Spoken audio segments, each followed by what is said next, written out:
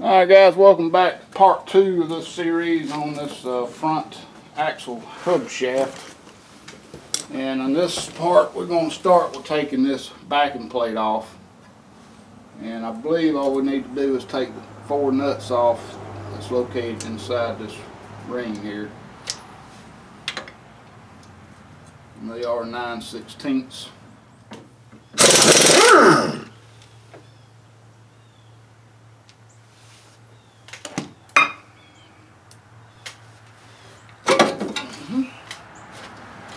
That's a damn right there. Alright guys, so here's your spindle. And if you want to take this off, you just take something, pop it loose, slide it out.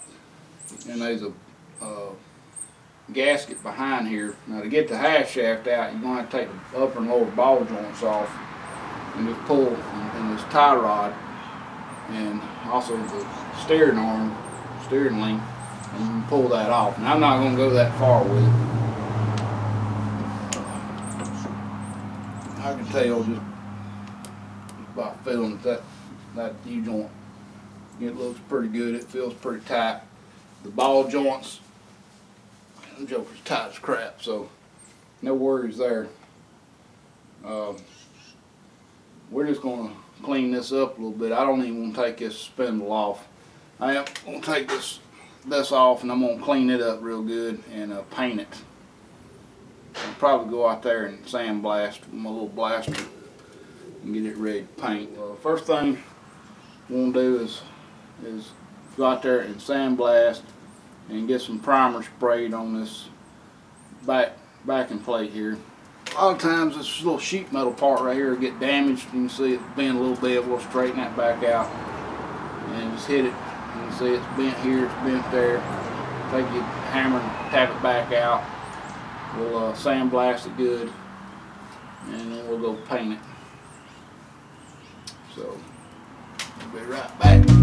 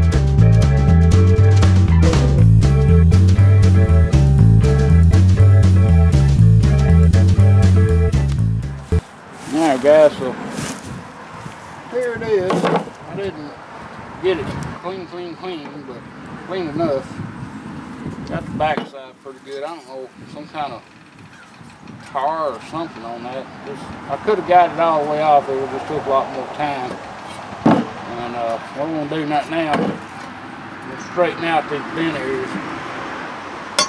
Try to.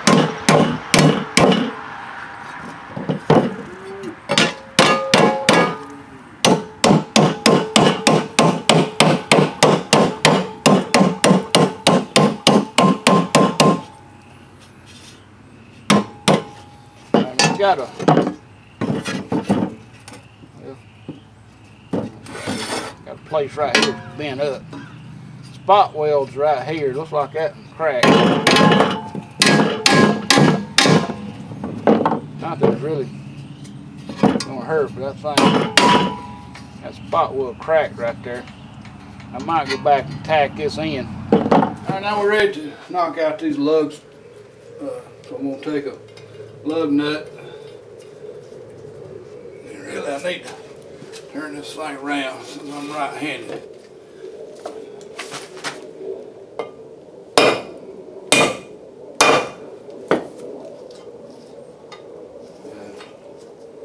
All went well, we'll get this thing back off. If it didn't, then we would be in some trouble.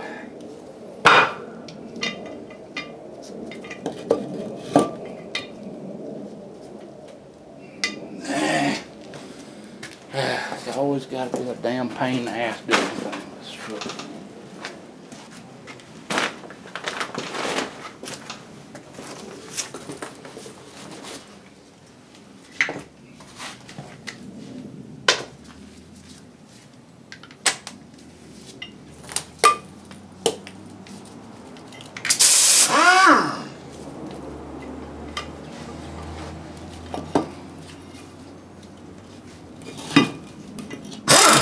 Oh!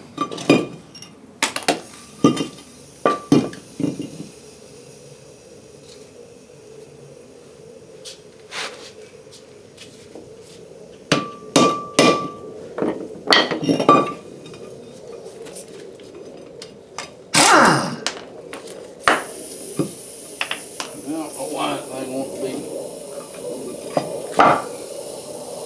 such a pain in the butt.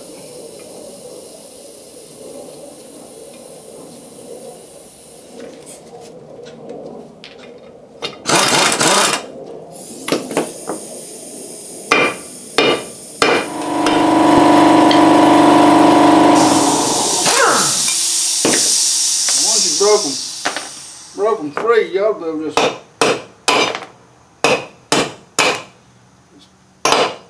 tap them shouldn't hurt them. I'm just barely giving them a little love tap.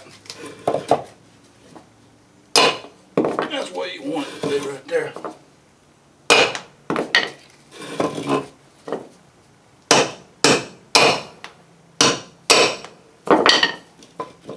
Now, to get the damn drum, the rotor off the drum,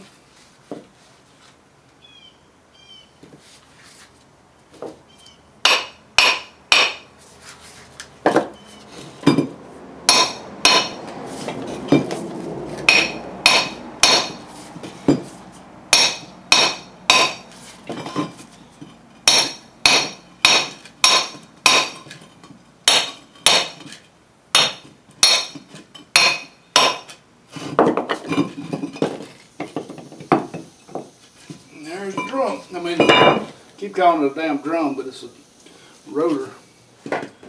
Alright, so next, we need to get this seal out, this oil seal. Somebody's put it way down in there. It's not really where it needs to be.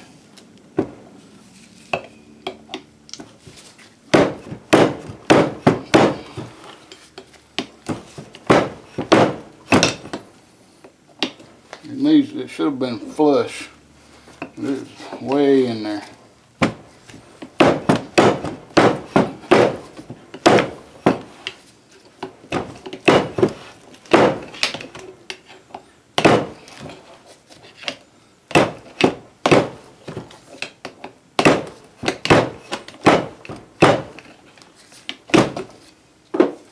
Shouldn't have been that hard to get out, but somebody over installed that one.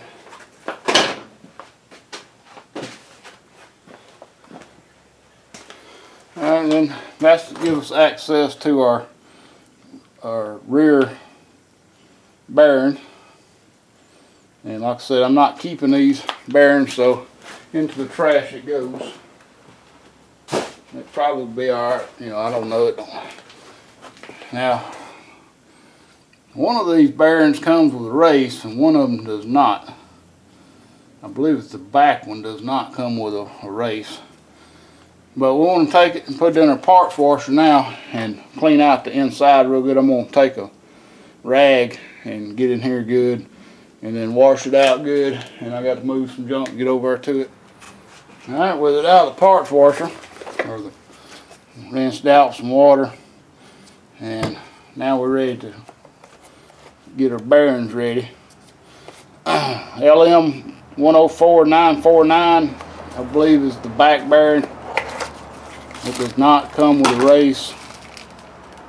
Alright. The seal number is Timken 471271 and the front set is set 45 and that's pretty much any manufacturer Timken just being one of them set 45 is going to be the front set. It does come with a race and a bearing. They're matched so we need to replace the race that's in here so first thing we got to do is drive the old race out. You can get to it from the back side. Just get a punch or a screwdriver, hit around the edges, and drive it out. Big cheap screwdriver. Screwdriver will work the best. You find one that's got a handle that won't fall all to pieces with you.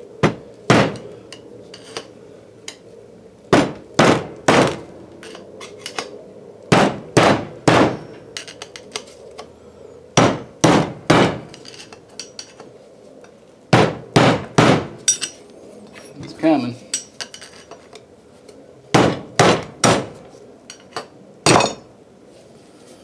No problem. And here's the race.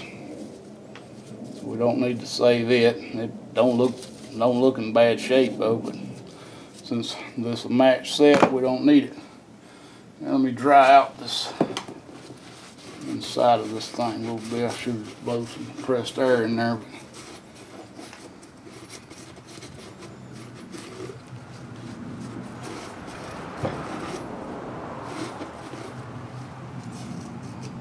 see that race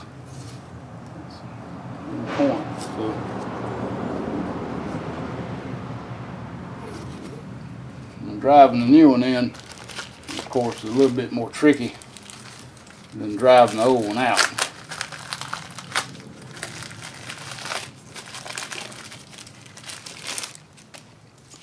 You know, they say do not move a new bearing dry you don't have a whole lot of room to knock on going in with it. Try to get it straight. I wish I had a, a bearing driver. It will sit in there.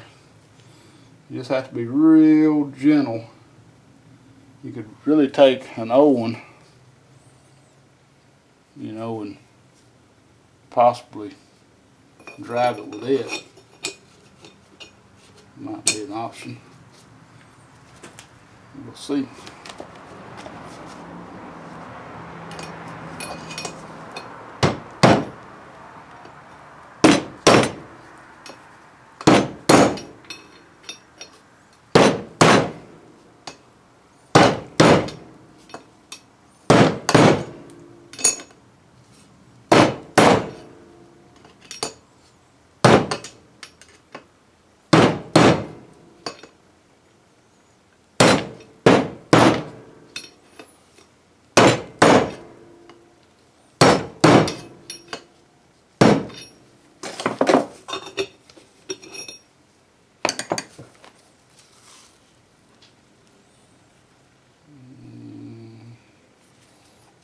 Looks like it's seated.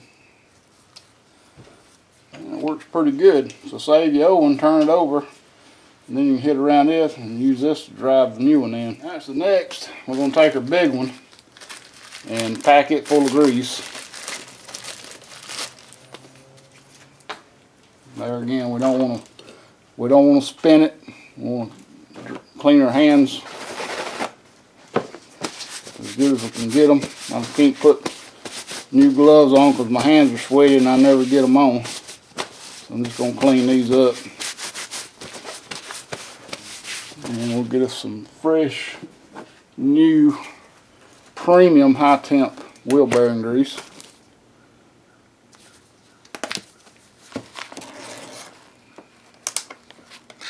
I was expecting this to be red, but it's uh, kind of a gold color. Alright, so what I'm gonna do is just get, I don't know if y'all can even see what I'm doing here. I'm gonna grab me a little scoop up with my bearing. And I'm gonna put it in the palm of my hand. See where I can get you in here, okay? And just work it in. Should see it come out the top of the bearing like that. And you just work it in all the way around so it's all the way through the bearing.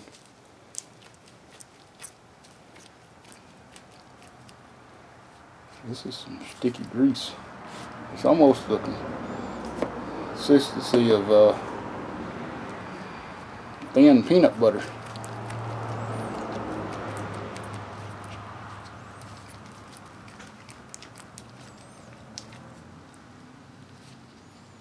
And I'm sure most of y'all that's watched the, my videos have seen either done this yourself or seen me do it in another video but just in case this is not a hard job. It's just a messy job. That's why you want to have some good gloves on.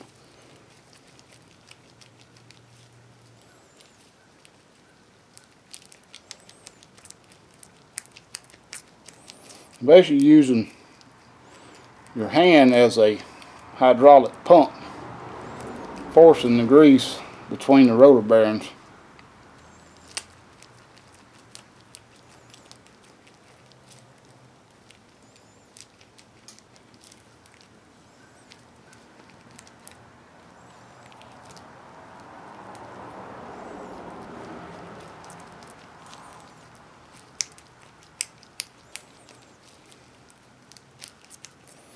Mm-hmm, so we got it all the way around. Just to make sure, I'm going to go ahead and push this on up in there a little bit. There it goes.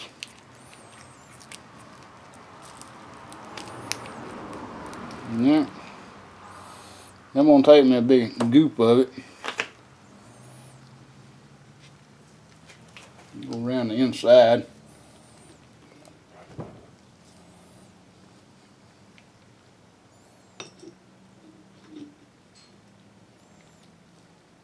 That's stuff. All we need to do now is install our seal. And she'll be ready to go back. We're going to wait, we'll have to wait till we get, we'll have to wait till we get ready to install it on the spindle before we put our little bearing back in there. But we go ahead and get our seal in here so that this big bearing don't fall out.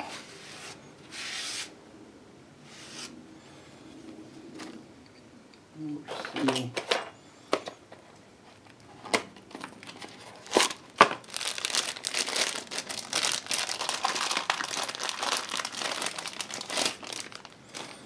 Course the seal's got a spring in it. Y'all can see maybe. Maybe you can see that spring in here. The spring goes to the inside so it's going to be flat on the outside. Like that. And we'll just take a little rubber mallet or something.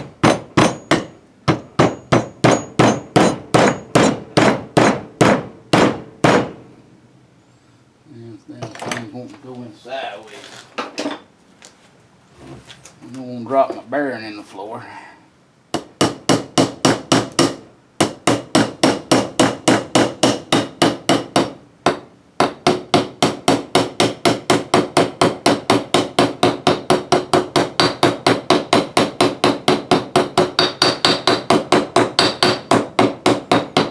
And that's all you need. You don't need to recess this seal all the way to the bearing. There's really no need in it.